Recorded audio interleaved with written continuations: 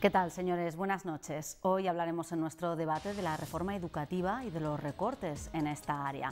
Mientras Cataluña rechaza las medidas propuestas por BERT en lo referente a las lenguas en la escuela, en Aragón la DGA ha dejado sin subvención el programa abierto por vacaciones y los profesores del Matarraña continúan decididos a no poner notas en protesta por estos recortes. Analizaremos esta situación y también la de la Universidad de Zaragoza. Hablaremos además de las nuevas formas de protesta ciudadana como las mareas o el movimiento 15M. Para hablar de estas cuestiones nos acompañan esta noche en esta mesa de redacción Emilio Lacambra, hostelero. Emilio, buenas noches. José Ramón Colel, de la Fundación Educatraffic. Buenas noches, José Ramón. Buenas noches. Y Lola Esther, periodista. Lola, buenas noches. Buenas noches. Vamos a comenzar hablando de esa eh, de educación, de ese primer tema que presentábamos, de esa reforma, esa polémica reforma del ministro Bert. Eh, finalmente parece que se aviene a negociar por, al encontrar eh, la oposición de, todos los grupos, sobre todo los eh, catalanes, la oposición de los grupos catalanes en cuestión de las lenguas, del modelo lingüístico en la escuela. ¿Qué os parece esta reforma que ha propuesto el ministro Bert? ¿Creéis que eh, es una buena opción, que se siente a negociar, que debería de ceder en, este modelo lingüístico en, el colegio? Emilio. Hombre, yo lo que creo es que el señor Bert está realizando provocación tras provocación. Eh, sabemos que existe un pequeño problema con algún colectivo en Barcelona, pero yo creo que el debate de la ley de nueva educación no está tanto en lo de las lenguas, sino en el contenido de lo que es la, la ley, que me parece grave y serio. ¿no? Eso me parece más importante que eso, independientemente de que en Cataluña efectivamente su obsesión por españolizar a los catalanes parece que no tiene medida, ¿no? José Ramón, ¿cómo ves tú esta polémica que se ha desatado sobre todo en Cataluña? A ver, yo, yo en cuanto al, tema actual de la educación eh, diferenciaría dos cosas. Una es el tema de los recortes. Entonces, mm, miremoslo como miremos, lo miremos, eh, los recortes van a existir y se van a dar. Quiero decir, los profesores van a tener que dar más clases, en las aulas tendrá que haber más alumnos, eh, pero esto ¿por qué? Pues porque es una imposición pues de, que hay recortes en todo y en educación va a haber. Sintiéndolo mucho además, porque entendía yo que esto estaba muy bien. Pero eh, las cosas están como están, es un momento de dificultades económicas y hay que recortar en todas partes. Primer punto. Segundo punto. Eh, con todo el respeto hacia el ministro de Educación, el señor Ver no es el más adecuado para, llevar adelante una ley de educación en estos momentos. Era mucho más adecuado, por ejemplo, el talante del antiguo ministro Gabilondo. Y no me meto en que si era de un partido o de otro, me da igual. Un señor era dialogante y con ganas de, de sentarse, llegar a acuerdos, y hasta que no lleguemos a un acuerdo no nos levantamos de la mesa. Y este otro, pues aquí cada vez que hay una polémica encima se pone más eh, flamenco. ¿Eh? Entonces, quiero decir que ese tema no, no me parece que sea la persona más adecuada en estos momentos. Quizás también es una estrategia para derivar toda la polémica alrededor de este señor. Eso ya me callo. ¿eh? Pero yo estos dos aspectos los diferenciaría. ¿Crees que se puede llegar, Lola, a una negociación, a un consenso con, con estos partidos? No, no, porque como bien dice José Ramón, hubo un ministro que, que, tenía un carácter bastante más tolerante y no logró que se sentaran a la mesa a, a debatir nadie. Y lo que, yo lo que veo que queda claro es que los políticos, ninguno, eh, me da igual el partido, me da igual el gobierno, ninguno se toma en serio la, educación en España, ninguno. Utilizan como arma arrojadiza, cada uno hace su, su propia norma. Esta es la séptima, la de es la séptima de, la democracia. Y es verdad que, urge eh, hacer cambios educativos porque, en fin, eh, decir, el, fracaso escolar en, España necesita una política de choque, no lo digo yo, lo, ha dicho, lo dicen los expertos del Banco Mundial, educativos del Banco Mundial porque tenemos un porcentaje, hay un millón ahora mismo de, españoles entre 18 y 24 años que no, han acabado el bachillerato, no han acabado la formación profesional, están sin ningún tipo de, formación y de cualificación, con lo cual sí que hay que tomar medidas.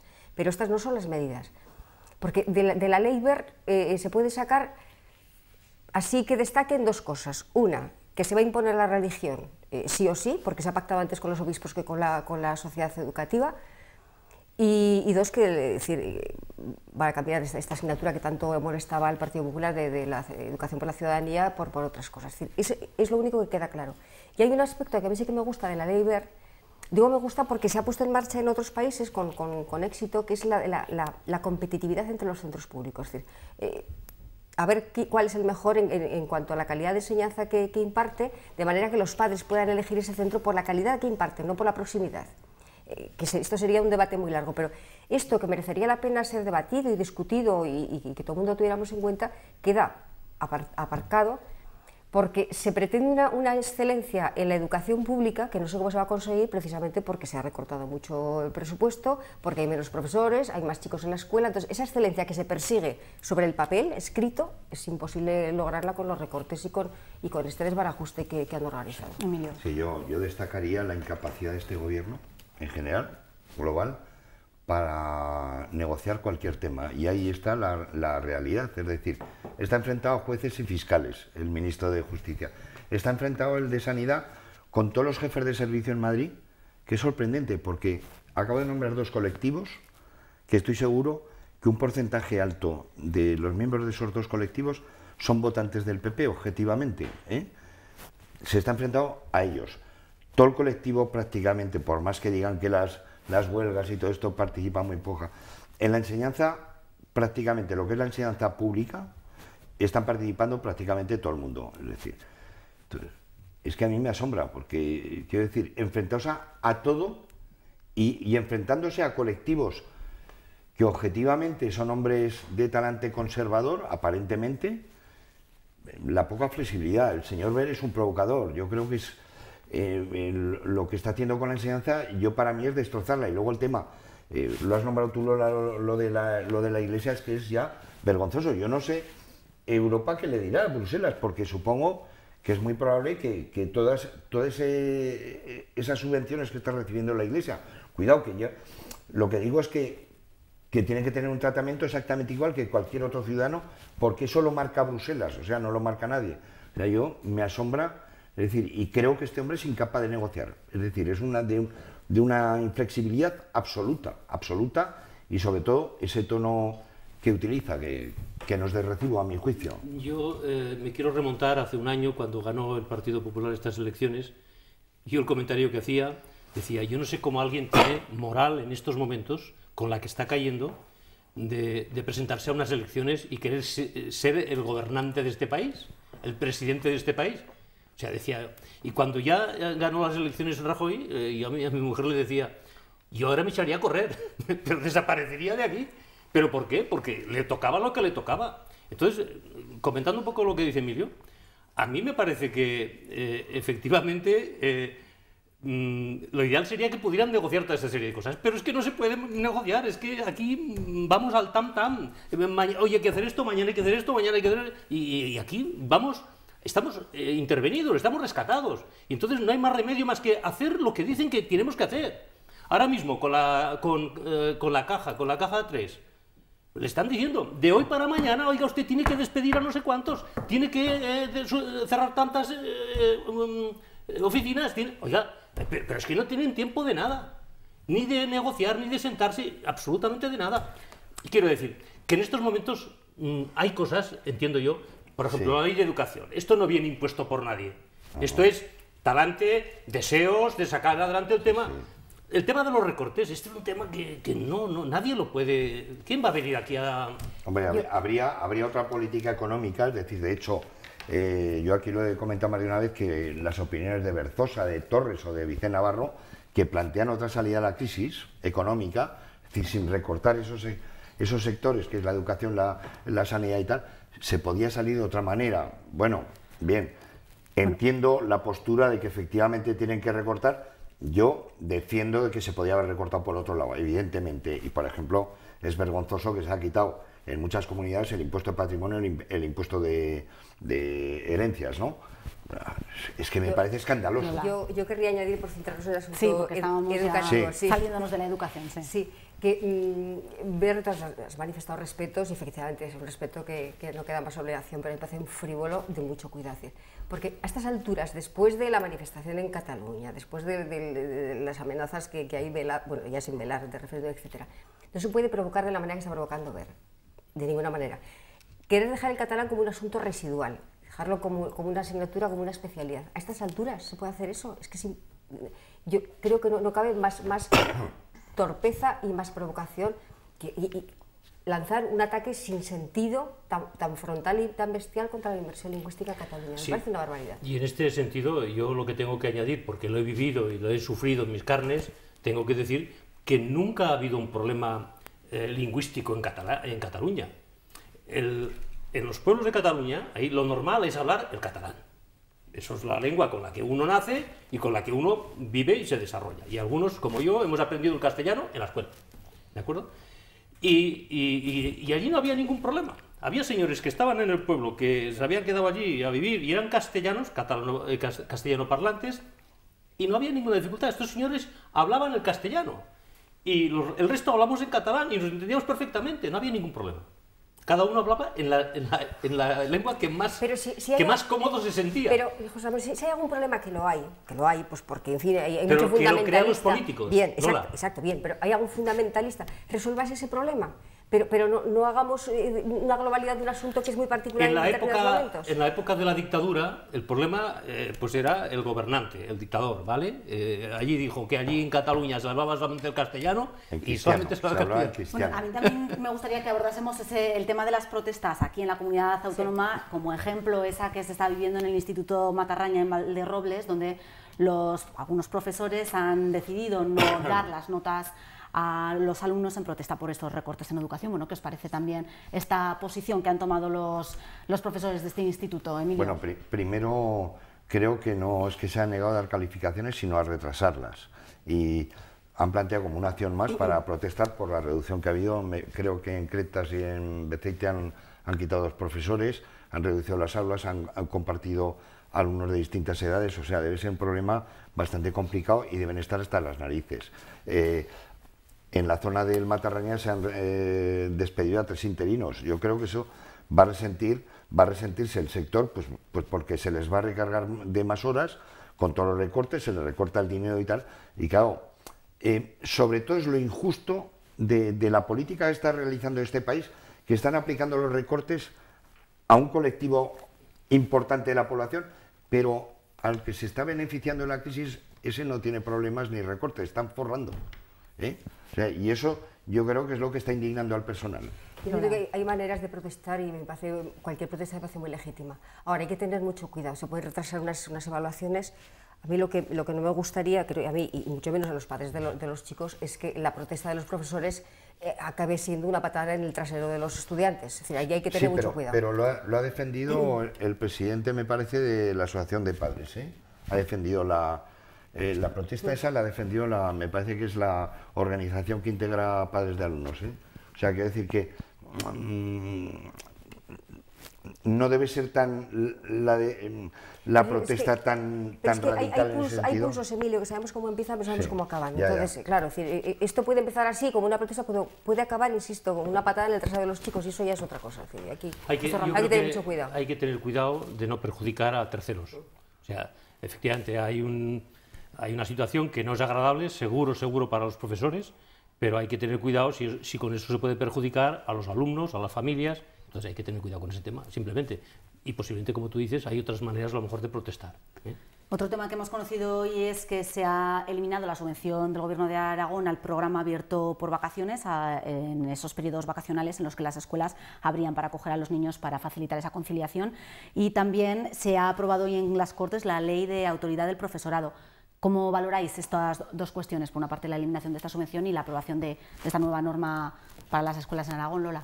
Yo, lo de, lo de esta, esta, ley para, para no sé, dotar de una autoridad que no les corresponde a los profesores, tal, y como está planteando, me parece que es una, barbaridad. Los, profesores no, son más, no tienen más autoridad porque lo diga una norma legal, la tienen pues porque la, la tienen per se, en el momento que tienen un conocimiento y tienen capacidad para, para transmitir ese conocimiento. Ya está. ¿Qué pasa? Que hay chicos que no, no han mamado disciplina, que no, no, tienen una autoridad en casa que les, les imponga una serie de normas. Bueno, pues eso no es cuestión de un día para otro, ni siquiera una, una, ley lo impone. ahí hay que andar con mucho. La, ley, eh, la autoridad, el profesor la tiene, lo que tiene que hacer es ganársela, evidentemente, y, y, a los chicos educarlos. En, en, Finlandia, que es un país donde, donde nos, nos fijamos muchísimo, los profesores no tienen un plus de autoridad de ninguna manera. Es decir, son generaciones y generaciones educadas ya precisamente para respetar a aquel que te transmite una serie de conocimientos. En ese camino estamos, ese camino que es, largo, evidentemente, pero a mí esto de las leyes, impartir autoridad por ley no me gusta nada. Emilio.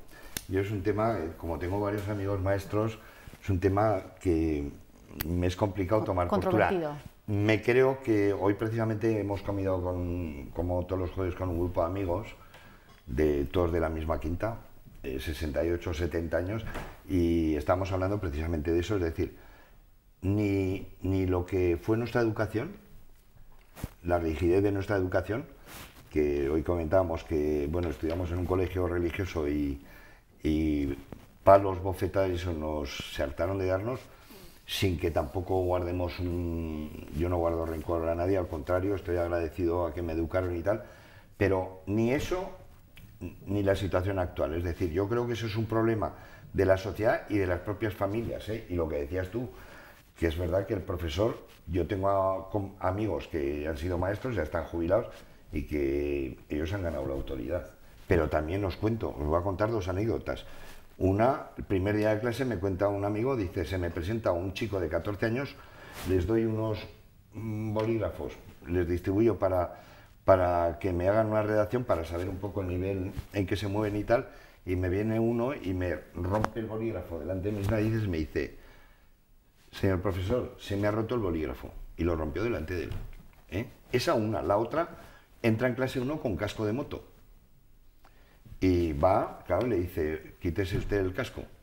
Y le dice, mire usted, yo vengo aquí obligado porque mi padre me hace venir, pero yo no quiero venir a clase, yo me quiero ir a trabajar, a mí no me interesa esto pues para nada, hágame lo que quiera, decir, pero no me va a quitar el casco, expúlseme ese, ese tiene un padre que ejerce la autoridad que le corresponde, que en muchos casos, en casa no hay ningún tipo de autoridad, entonces llegan los chicos a la escuela y efectivamente se, se, enfrentan al, que, al que trata de, marcarles una disciplina. ¿Cómo actuar frente a estas situaciones que exponía Emilio? Eh, he pasado muchos años de mi vida dando clases y en formación profesional además, o sea, me conozco bien el, estos casos centenares de miles. Eh, estoy totalmente en contra de ese tema de que un profesor le tenga que poner la estrella de sheriff para que entre en clase. Me parece eh, un, lo que decíamos, en, el antiguo oeste un señor iba con una, estrella de sheriff y tenía autoridad o tenía una autoridad, pero no porque llevaba la estrella, no porque le habían puesto una ley que dijera esto, sino porque este señor tenía la autoritas que se había ganado a pulso con su comportamiento, con su respeto, con su dedicación, con, su cariño a la gente, etcétera, etcétera. Y ahí es donde eh, un, maestro, un profesor, tiene, se gana la autoridad. No le dan la autoridad, es la potestas o la autoritas. ¿eh? ¿De acuerdo? Entonces uno tiene que ganarse la autoritas. ¿De acuerdo? No es porque yo te pongo aquí encima de la cabeza eh, un, florero que te diga que tienes no sé qué, no señor. ¿eh? No, y porque te pongan una gorra y con unas estrellas, en absoluto. Ese tema es, posiblemente le puede ir bien a alguien, a alguien que, le, que, carezca de esto y que diga, cuidado, cuidado, que yo tengo, os puedo poner una denuncia y no sé qué cosas. Bueno, esas cosas no son educativas. ¿Vale? también por, los colegios abiertos ahora en vacaciones, porque la DG ha retirado parte de la subvención. Yo creo que es un asunto que es bastante discutible. Decir, eh, se, trata de abrir los colegios en, vacaciones, en Navidad, pues, para que las familias puedan conciliar, porque claro, los padres no están en casa, no pueden atender a los chiquillos. ¿Qué pasa? Que se ha retirado una parte de la subvención, los padres pagan una parte, el, el Laguna Dragón paga otra parte. Hombre, yo creo que si un chiquillo tiene que ir al colegio en vacaciones porque los padres están trabajando, probablemente pueden pagar la estancia en el colegio. Con lo cual, es muy revisable esta situación porque no están los tiempos para que el resto de las familias paguen la estancia de estos chiquillos en la escuela. Es decir, el padre que no pueda, los padres que no puedan tener a los chiquillos en casa porque están trabajando, pueden, yo creo que pueden pagar yo, la estancia abundando en esto, eh, yo diría que ha pasado ya el tiempo, ha pasado el tiempo ya de todo gratis para todo. Eso no sé quién lo decía, además recientemente... Esto, no es gratis, es decir, pagaban una parte. Sí. Bueno, pero es que hasta hace muy poco era todo gratis para todos. Y eso no puede ser. O sea, gratis el autobús, gratis el comedor, gratis las extraescolares, gratis. No, puede ser todo. Estamos en otro escenario y ese escenario hay que asumirlo. Y de alguna manera... es que en, este caso, en esta situación, insisto, cuando los padres no, no pueden tener a los chicos en casa porque están trabajando, si tienen trabajo pueden pagar estas Y con esto no quiero decir que la gente desfavorecida y que no pueda pagar nada y además haya que darle un complemento, se le dé. digo que es pero diferenciando, diferenciando. Y hablamos de investigación en la universidad. el salario social, salario social que es eh, un billete a bajo precio o, gratuito, el no pagar tasas de basura de agua, es decir, es que eso es el principio de un, estado de bienestar, es decir, redistribuir la plusvalía que genera la sociedad, que no se la lleven. El problema es que para pagar eso, si lo tienen que pagar los, los trabajadores, no, lo que lo tienen que pagar son las rentas altas. Y la clave está ahí. A las rentas altas aplicarles el, los impuestos que funcionan. Pero las rentas altas, las rentas altas no dejan a los chicos en el colegio en vacaciones porque tienen a alguien que les cuide. Estamos hablando De, casos probablemente extremos, pero pero insisto, revisable porque no, vale para todos. Es hay casos que efectivamente se necesitará incluso pagarles el 100%, pues porque eh, la madre probablemente estará fregando todo el día, punto de la mañana, punto de la noche. Estos casos sí, pero no, generalicemos.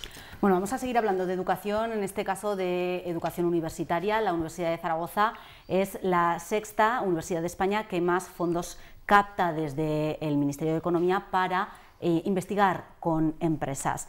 Un modelo de investigación que puede paliar en cierta medida esos recortes a los que se está viendo afectada la universidad en esta materia, precisamente en investigación. ¿Cómo veis este, este nuevo o este modelo de colaboración empresa-universidad gracias a, bueno, a, estos, eh, a estos fondos? ¿Puede paliar en cierta medida los recortes en investigación?